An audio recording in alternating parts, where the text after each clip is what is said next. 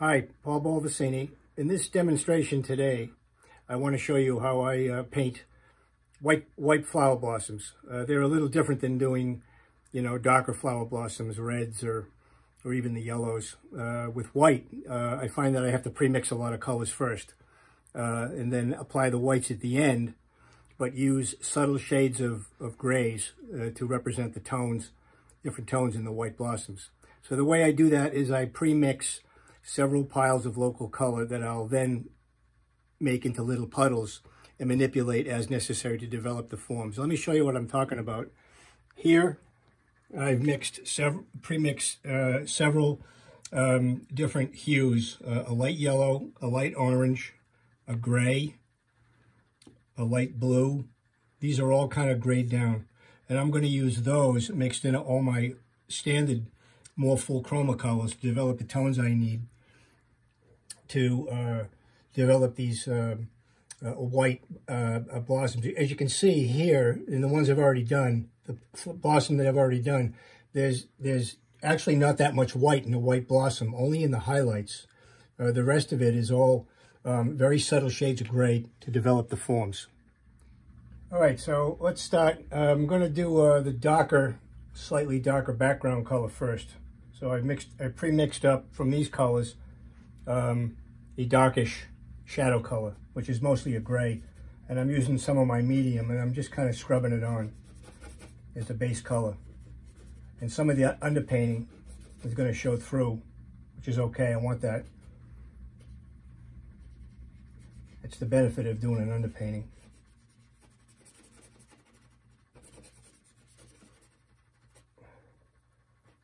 It's kind of a very, very dull down purple color, mauvish color. So once that's done, I'm going to dip into some of these pre-mixed colors and then just brush them right over it.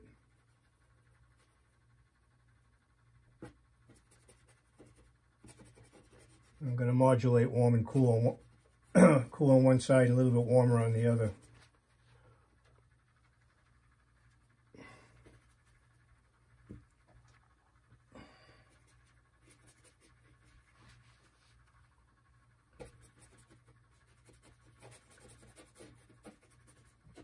Kind of starts out as a big mess. But I'll be I'll be using my blending brush to pull it all together.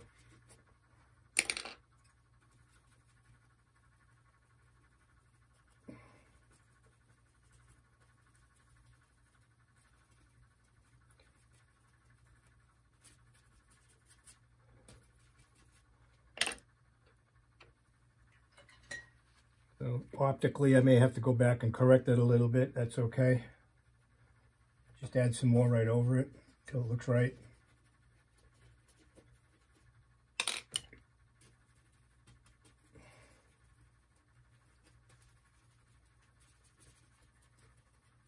Kind of takes care of that. So then I just move on to each shape at a time, kind of uh, paying attention to what my reference image shows for a tone. Where it's kind of cool, I use a cool mixture. Where it's a little warmer, I, I use a warmer mixture.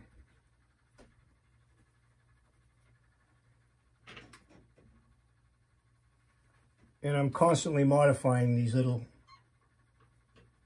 puddles.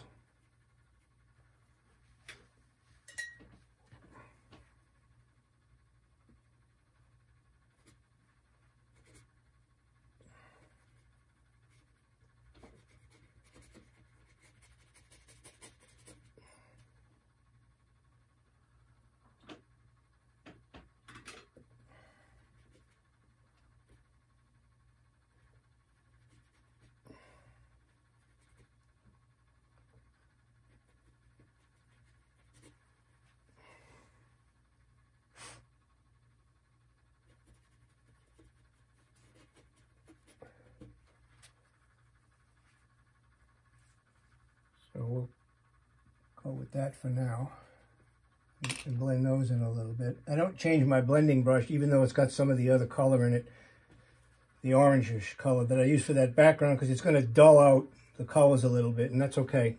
That's okay for shadows.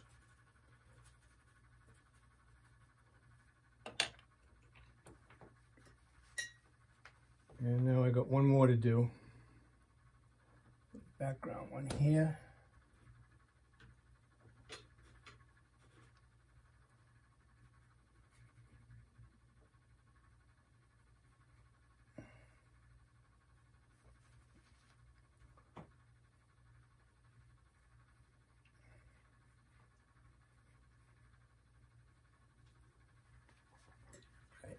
Now we'll get to the whites. It's about the, the only time the whites come, come in. And I'm not using a pure white. I use a extra yellow pale for my white. So it's never really that bright white to start with. And I add a little bit of a tiny little bit of a light blue usually. And not the pure white till the very end usually the next day when it's dried. I touch up those whites a little bit with the pure white.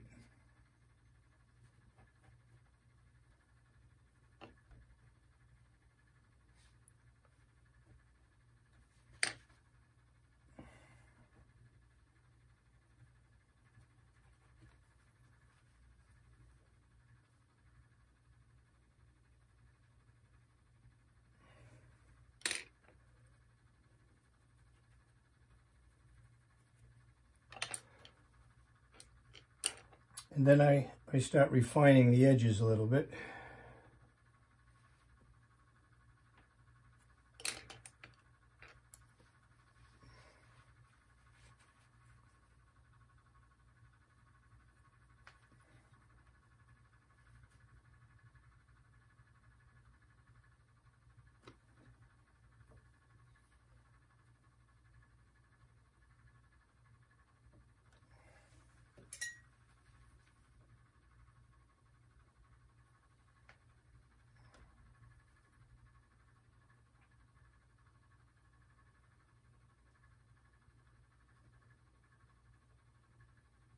I'm actually adding highlights now to help define the form, even though it's in shadow.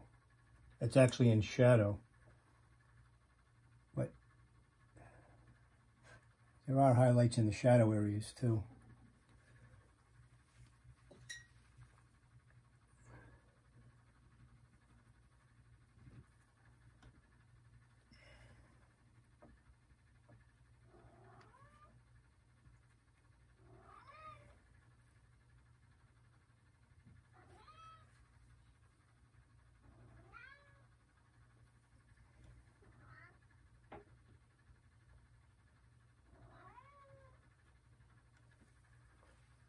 I guess my cat likes it too.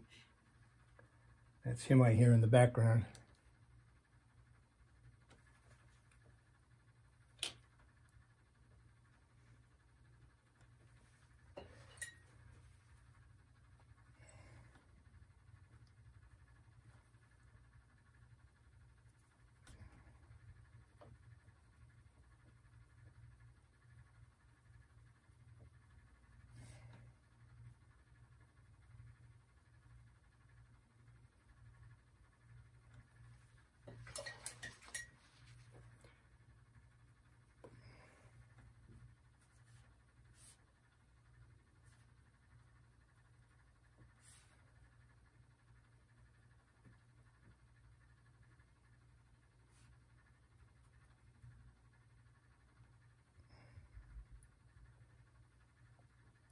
Pay a lot of a lot of attention to edges. Edges are really important. I do a lot of careful careful blending on some of the edges. With a little dry brush. No paint, because the paint is pretty wet that's already on there.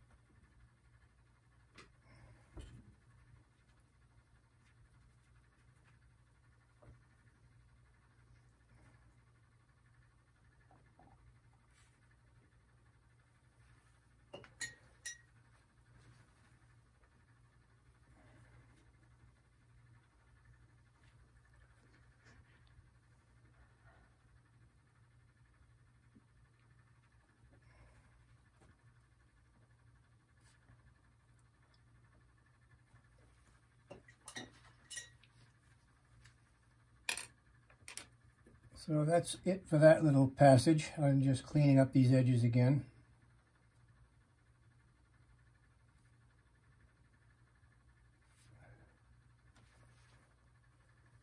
And that's basically the technique I'm going to use to do all the white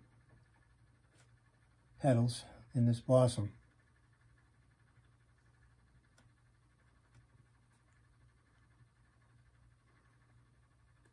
Well, I hope you enjoyed that. Thanks for watching.